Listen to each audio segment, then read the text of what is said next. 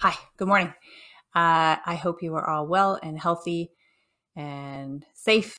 And today I'm going to talk a little bit about pelvic health, uh, how we can be managing it in our current pandemic situation, and also uh, a couple things about how we can expand our conversation about pelvic health. So, who we can be talking to, how we can talk to them and then I'm also going to talk a little bit about pad math.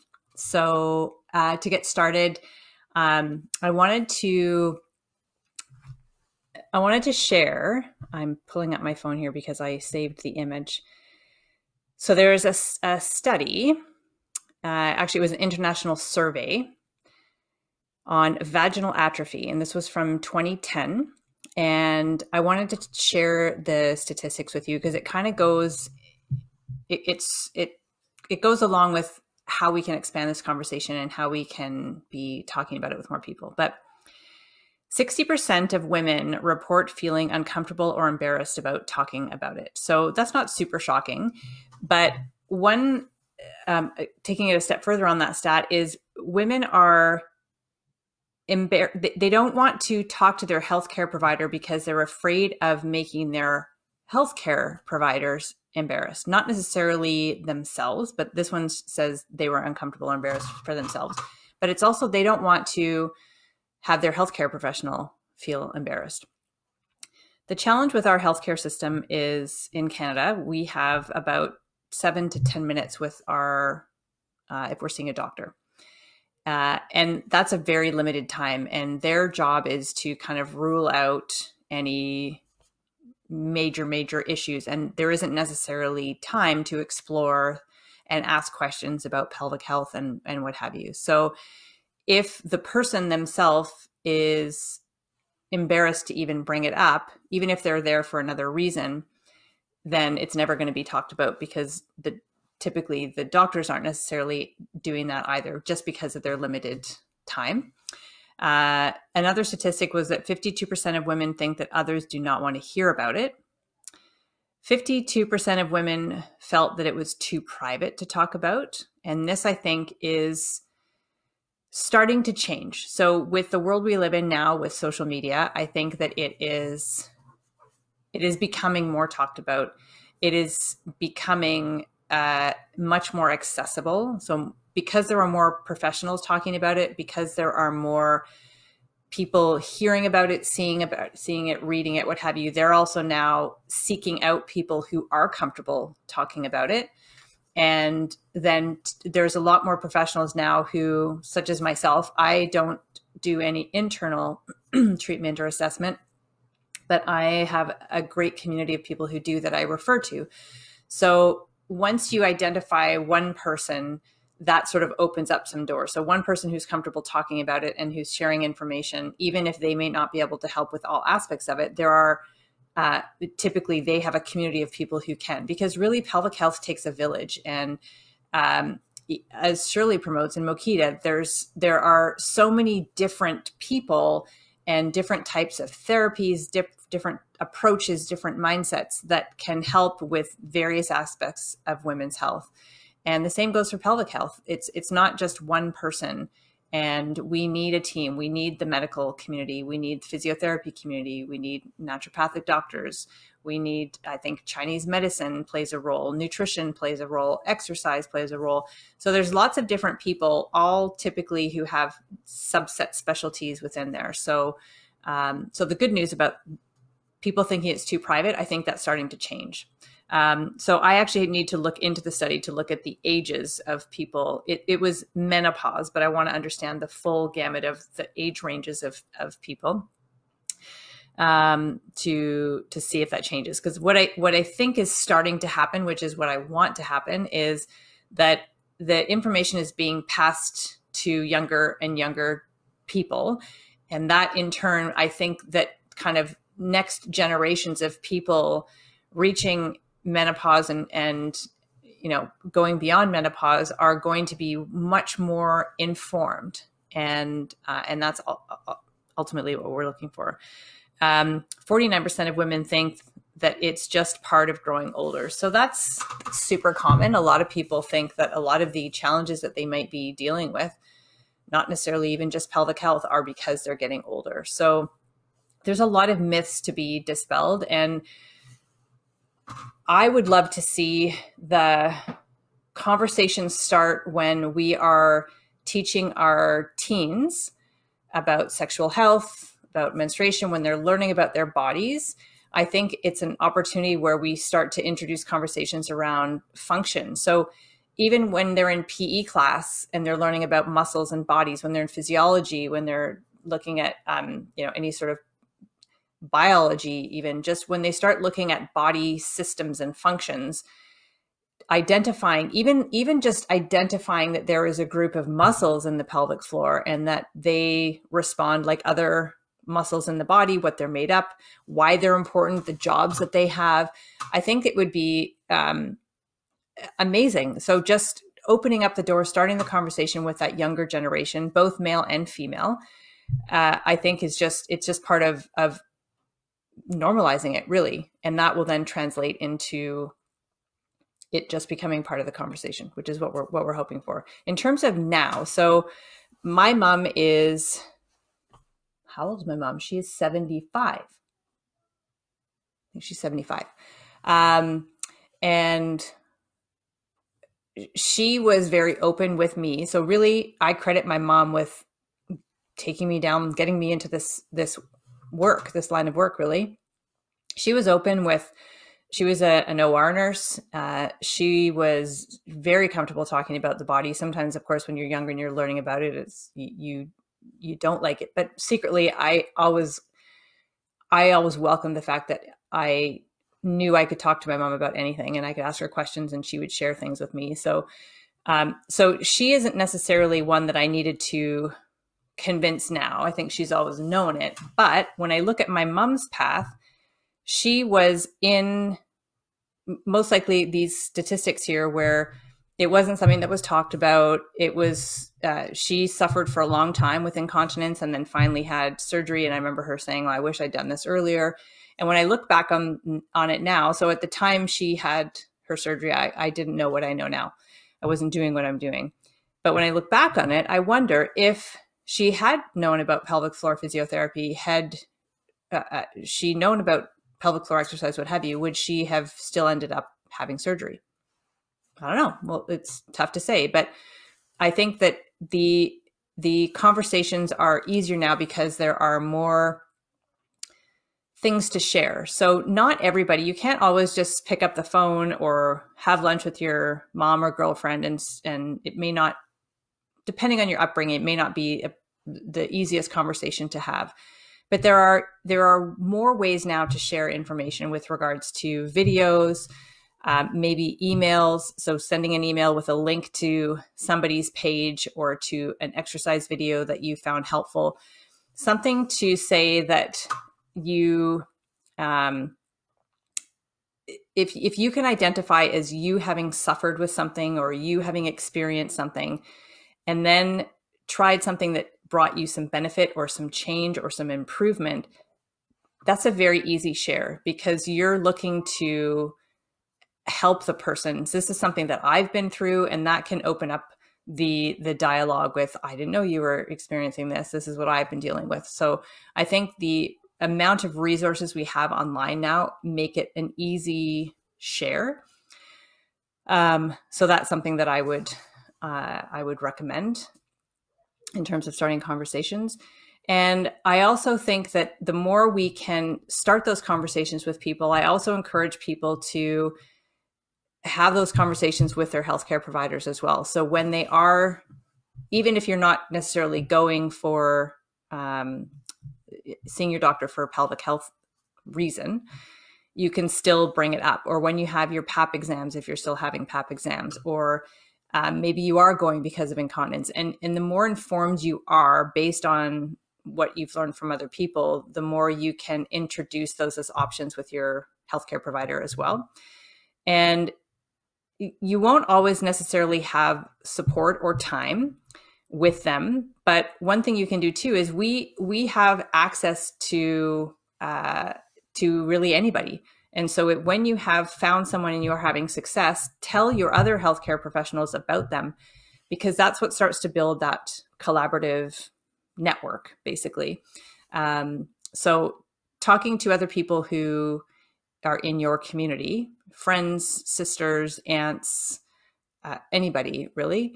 And I also think that if you have if you have um, relationships with men who are in relationships with women who may be struggling with this, it's also important to talk to the men about it as well and give them tools to help them understand what their partners may be going through, how they could help.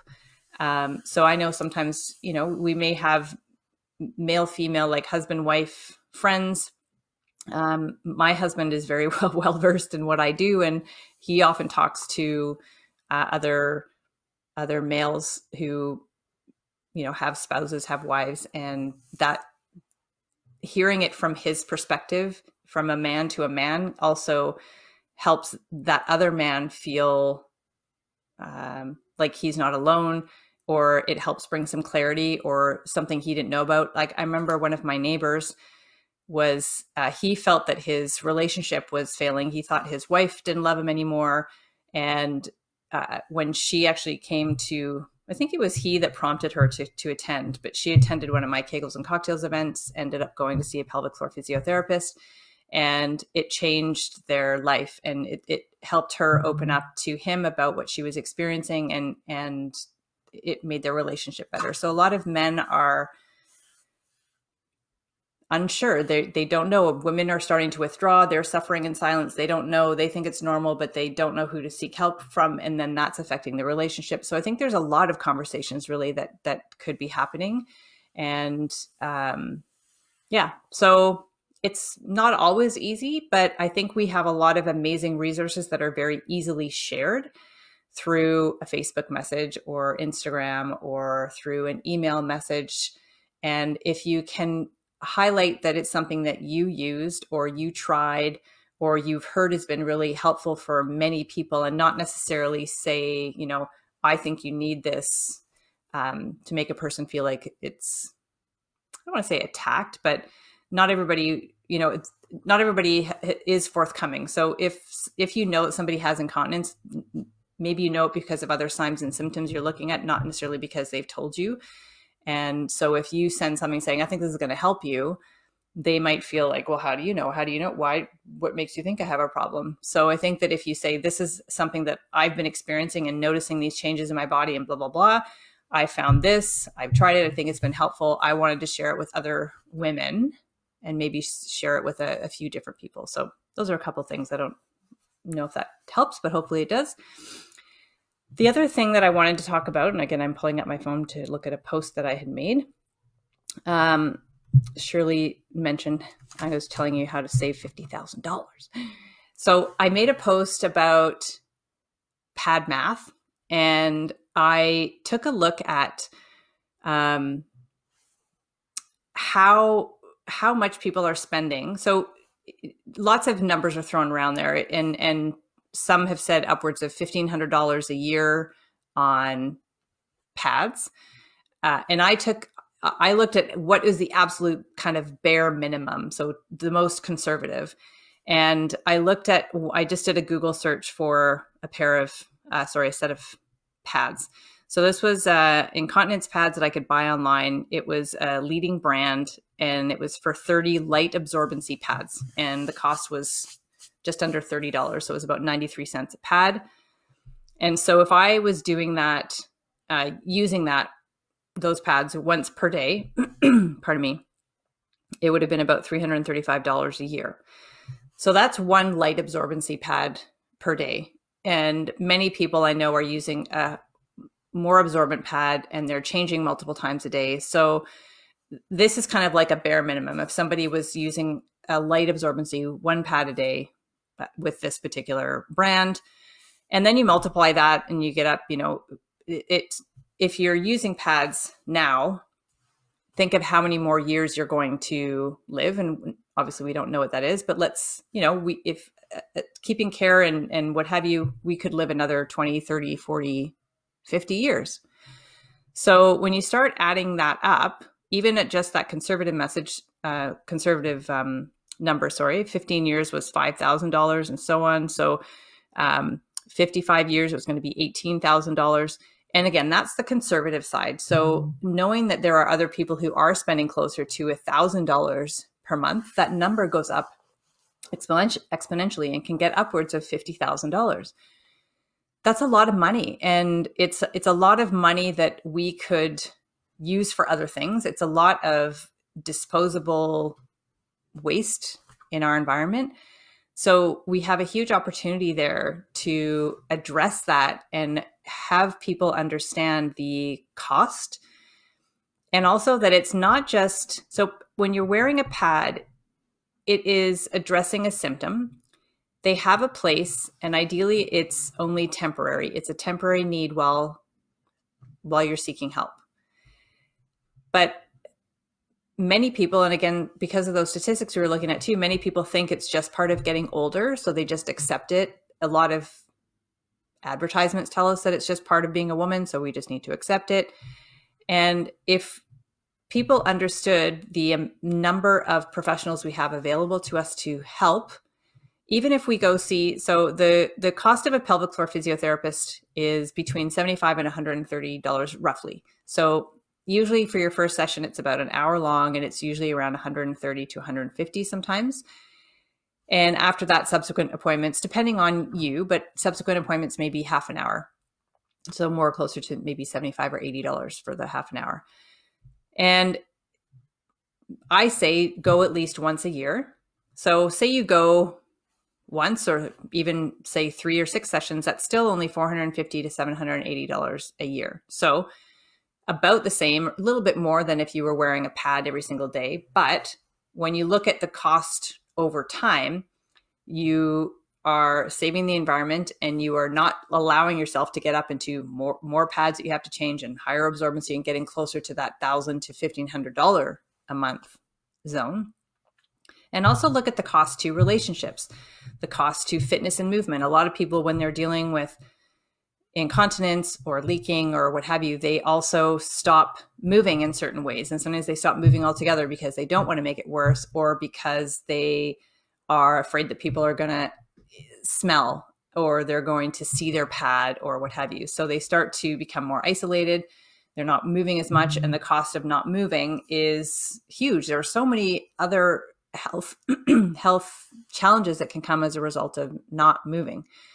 So when we can address this holistically and look at the financial costs, but also all of the other costs to our health and to our confidence, we're not just leaking urine, we're leaking power, we're leaking opportunity, we're leaking confidence. We're, we're a lot is happening because we're not addressing our incontinence. So um, we we need to address that. So the the best ways in terms of what I recommend pelvic floor physio is always hands down my number one thing if you have access to one. Of course, right now we live in a time where uh, we are living in a time where uh, we don't have access. We can't go see our pelvic floor physiotherapists. A lot of them are doing telehealth, but I do believe there's a lot of value with an internal assessment.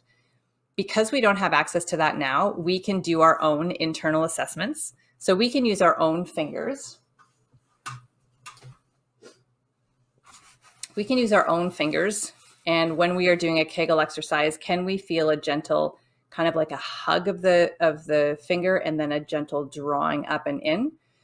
We can use a partner's fingers. We could use a partner's penis.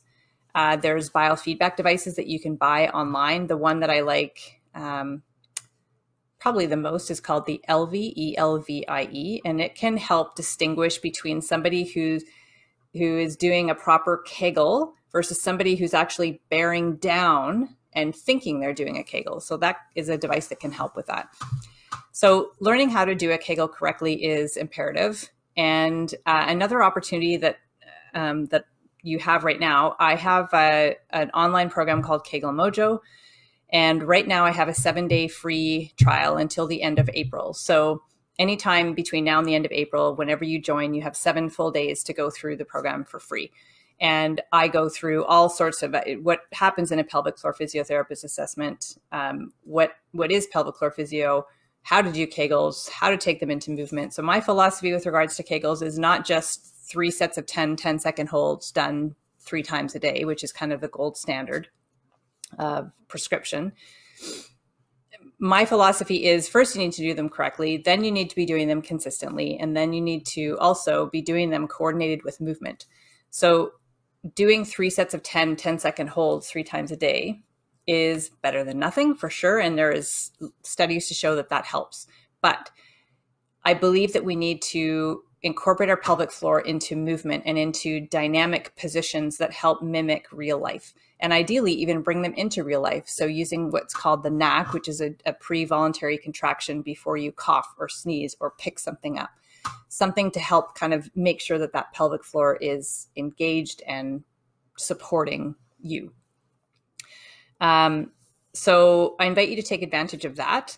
Um, use your partner or your own fingers to self assess and then make sure that you're doing them consistently. So this is always the biggest piece. Well, I forget to do them or I, you know, I just don't remember or I don't have the time.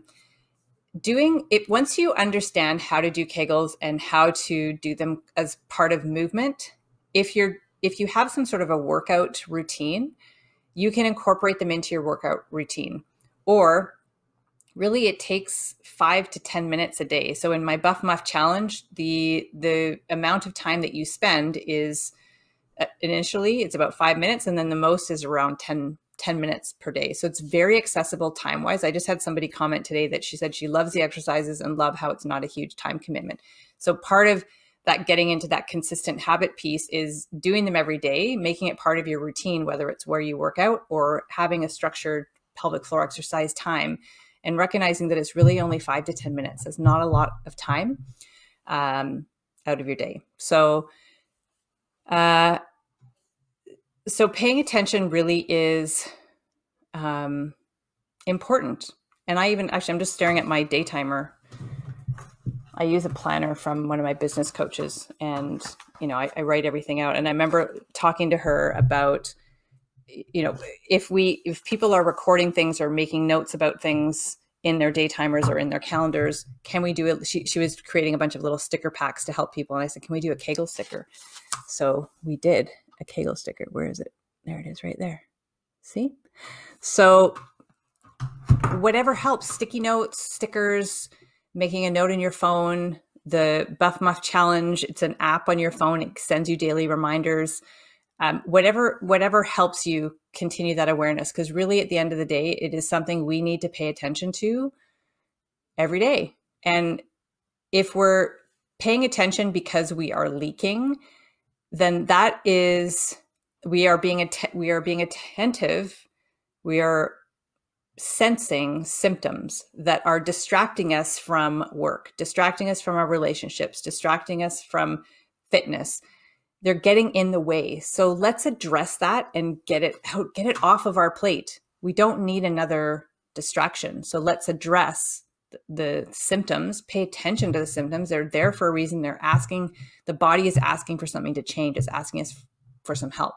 So let's listen and let's do the work. And it becomes then part of your part of your life, part of your day. And over time, in the Buff Muff Challenge, people around two weeks are noticing significant change. Many people are, you know, leaking less or not leaking at all. I get lots of comments like, I sneezed today and I didn't leak, woohoo. And it doesn't take much. It doesn't take much time. And it doesn't take much time in terms of like time per day, but also time uh, to, to notice a change but please please note that it is something that needs to be done consistently. It's not something that we do and we now oh we don't leak anymore and now we stop. It needs to be a consistent lifestyle that we lead a kegel centric lifestyle. Um, so pelvic floor physiotherapist take advantage of the free trial uh, and get as much information out of that as you possibly can. Um, check out the buff muff challenge. You might want to join the next one. It starts may 5th and uh, and the information that Shirley is sharing too, with regards to vaginal dryness, um, genitourinary syndrome of menopause, all of that is is is huge. There's so much valuable information being shared on this page, also by other health practitioners. So visit here often and um, yeah, and, and seek out help. So I don't see anybody here who has any, I can never see questions on this new platform here. Uh, oh, hang on one second. Questions. There's no questions here. So if, if there's anybody watching who has any questions, feel free to post them. Um, otherwise, you can find me at vaginacoach.com and my email is kim at vaginacoach. But I invite you to post a question in the menopause groups um, sorry, menopause community page here and tag me in it. So, because chances are somebody else has that same question and it would be great to address it where other people can see the response as well. So, that's probably the best way to reach me. But, um, but I, I know Shirley had had posed a challenge for everybody this year to see a pelvic floor physiotherapist, and she also challenged everybody to join the last Buff Muff challenge.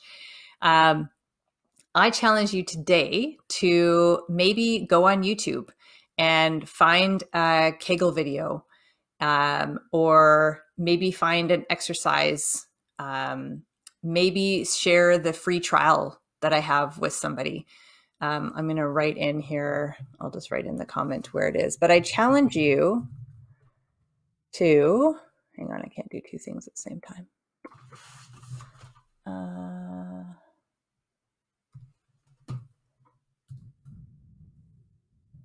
There you go.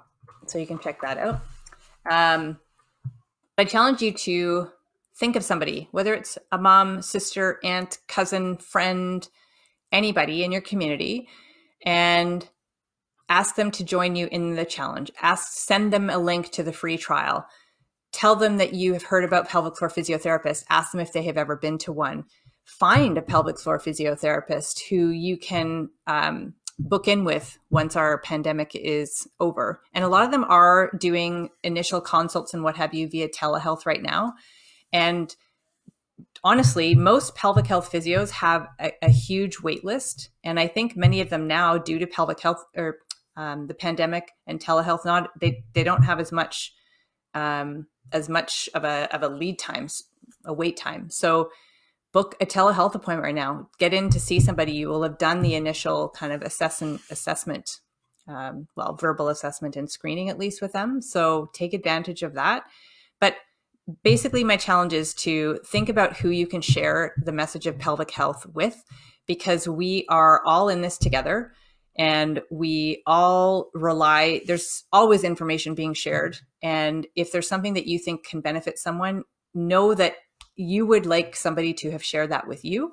So please go and share that with them as well. So we can open up, as, as Shirley says, crack open the conversation and start inspiring others and start making a difference in the world so that the people who are currently suffering can find relief and the people who are in the younger generations maybe we're preventing suffering for them maybe we're opening up opportunities for them to um, to have a different path so, um, so that's it for now. And I hope you stay well and happy and healthy and, um, and do your kegels. We'll see you next time.